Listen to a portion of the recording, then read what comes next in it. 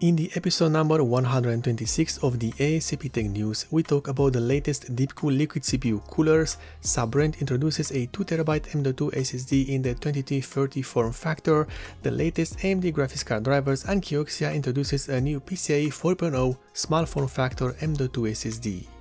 We start with Deepcool and their all-new liquid CPU coolers, the LE520 and the LE720. These two CPU coolers are part of the LE series and features different radiator sizes and addressable RGB LEDs on both the included fans and the CPU water block. The fans included with these CPU coolers have a minimum speed of 500 RPM and a maximum speed of 2000 550 RPM. Of course, thanks to the 4-pin connector and the PWM functionality, these fans can be easily controllable through your software or a fan hub. These fans also use a hydro bearing system and are rated for 85.85 CFM. When we are talking about the pump, this has a constant speed of 2400 RPM for the LE520 and 2550 RPM for the LE720.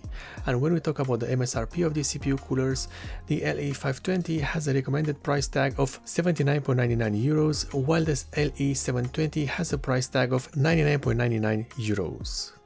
Next, AMD has released a new graphics card driver, NOAD version 23.5.1.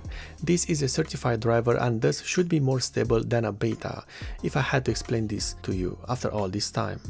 This new release brings out day one support for the new The Lord of the Rings Gollum video game with advertised performance gains of upwards of 16% over the last driver release. In terms of fixed issues, we have some the application crash or driver timeout may be observed during video playback using DaVinci Resolve Studio. Brief display corruptions may occur when switching between video and game windows on some AMD graphics products. Higher than expected memory usage during shader compilation time when first launching The Last of Us Part 1, and intermittent system crashes while playing Call of Duty Modern Warfare 2 on some AMD graphics card products. And as always, this driver leaves some issues unresolved, but that's the case nowadays for all driver releases. We continue with Sabrent and their latest small form factor M.2 SSD, the Rocket RocketQ M.2 2230. As the name suggests, this SSD has a 2230 form factor and can fit in many notebooks and desktop motherboards. The SSD is advertised to deliver speeds of upwards of 5GB per second, while also having a storage capacity of 2TB, at least for now. The controller used on this SSD is the Phison E21, while the memory chips are made by Micron. This type of SSD is ideal for small form factor devices such as the Steam Deck or other portable consoles.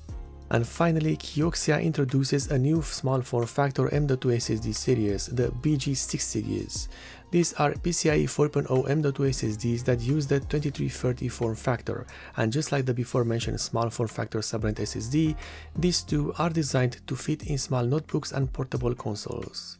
However, the Kioxia SSD is the first product to feature the company's new 6th generation BICS Flash 3D flash memory. When we talk about storage space, these SSDs will be available in multiple variants, 256, 512GB, 1TB and 2TB. As for the speeds, the SSDs are advertised to hit upwards of 6GB per second for the reads and 5.3GB per second for the writes. Unfortunately, the pricing is not yet known.